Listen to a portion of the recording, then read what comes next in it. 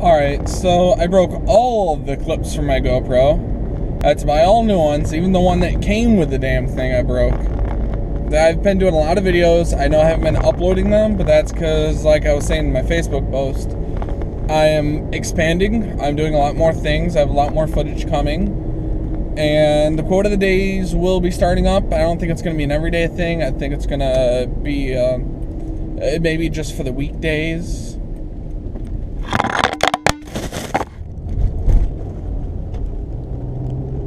maybe I'll just lose my camera.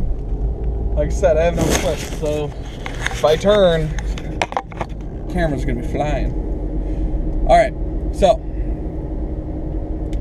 expanding, doing a lot of new stuff, and I went into work last night. The whole point of this video is to tell you that, and I went into work last night after having two nights off. All right, and supposedly I was fired on Thursday. I'm gonna hold the camera so I can turn. Wow, that's flying. At least just landed in the seat. Kind of excited to see what happened. So, I was fired on Thursday of last week. Now, I didn't know this. No idea. So I went into work last night. And everyone kept asking me, I thought you were fired.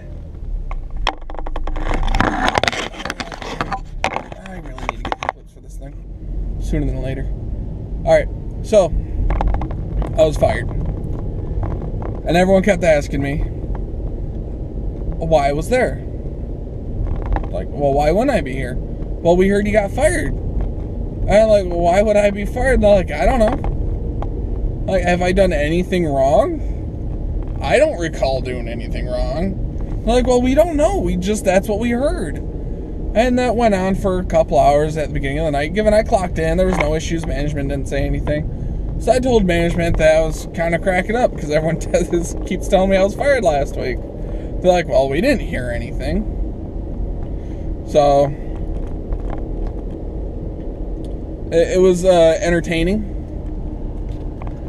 Very entertaining. And then at the end of the night, I was in the back room taking some stuff back before clocking out and the morning shift gets there at five o'clock now.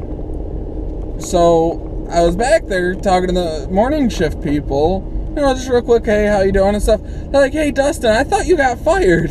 I'm like, really? Considering the fact that a uh,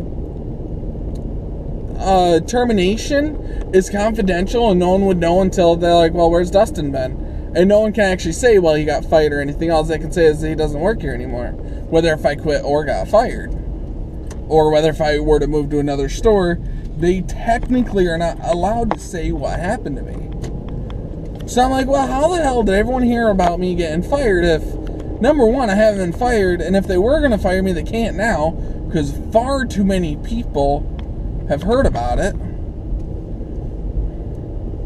So, I guess uh, the, the biggest thing is I got fired last week, but I'm still working. I think I need to find a new job. Because quite frankly, I'm not making any money doing anything else. I used to make some money doing some computer work for people, but I'm not I just haven't done it. There's no there's no work to be done. There's no money in it right now either. When you can buy a brand new laptop for 200 bucks, why are you going to pay someone to fix a computer that's really not worth fixing? I mean, if you have like some big expensive computer, chances are you have some sort of warranty on it. So, you don't have to worry about it. Long story short, I need a new job, or I need to make this channel make me some money. But I don't think that's going to happen.